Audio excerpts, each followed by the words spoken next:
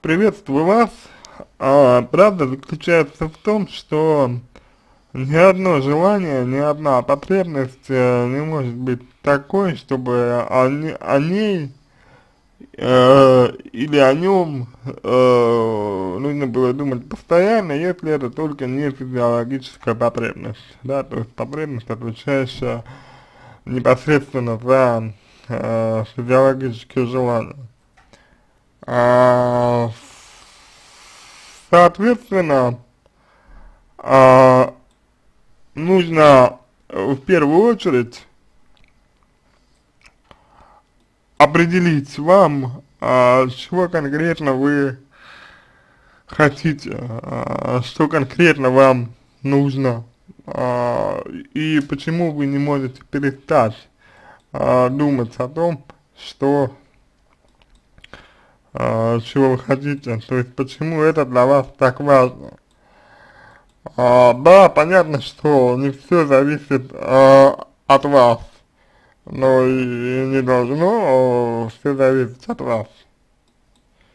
То есть нормально, если вы делаете все, что от вас зависящее, и все. А, понимаете, чтобы желание сбылось, нужно меньше его хотеть.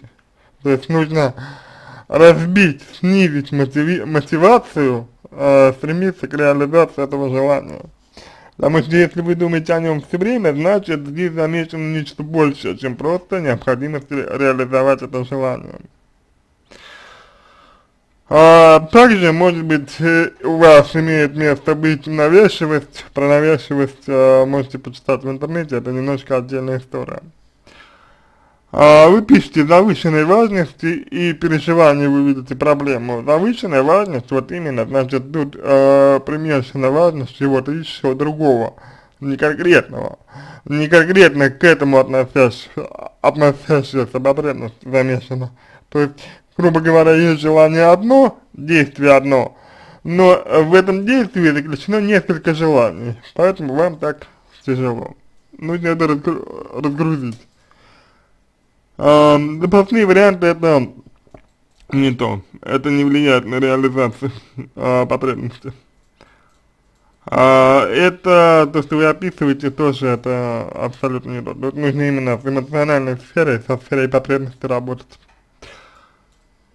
А вот, э, значит, ну и, соответственно, вот вы пишете, что наврежу своему желанию, если будете, если буду постоянно обдумывать, это, конечно, э, поднимает вопрос о том, насколько для вас это желание важно, еще раз. То есть, э, вы такое впечатление, что оно у вас э, своей жизнью живет, вот, и полностью на вас влияет.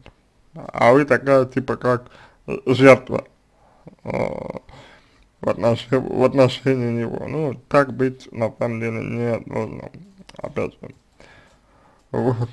Так что, э, значит, значит, что делать сказал, а, значит, а, может не нужно специально отпускать желание, если не может его сделать, а вы просто неверно, неправильно понимаете а, сам процесс отпускания. Ну, вот, у вас неверно представление о нем возникает, а процесс отпускания. Вот. А, вот так, я думаю, можно ответить вам на ваш вопрос, надеюсь, что помог. Если у вас остались дополнительные вопросы, пишите в личку, буду рад помочь. По-хорошему вам нужно э, взять индивидуальную консультацию и на ней уже все, все проговорить, прообщаться, э, побеседовать, тогда будет понятно, что конкретно вам делать. А если вам понравился мой ответ, буду благодарен, если сделаете его лучшим. Я желаю вам всего самого доброго и удачи.